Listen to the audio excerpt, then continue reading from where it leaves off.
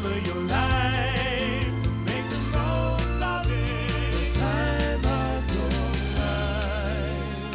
life. The Time of Your Life is brought to you by Baptist Health.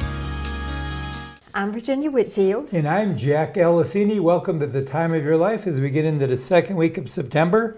Fair is Time's going on. Fair is going on. You're going to have Ronnie Welch today. Oh boy, good food. And I love guys guys cooking. I like that. And, yeah. and he does, and he really gets into it. He's Oh, he loves He's it. kind of a fun guy. He, he really makes it nice. he competes with his wife. He does. She always wins. She always but he got wins. a he got a blue ribbon this time. That's right. And our friends So- will be back from Georgia Floors Direct. Some good information as you're getting into the fall, getting ready. A sneak peek before the holidays.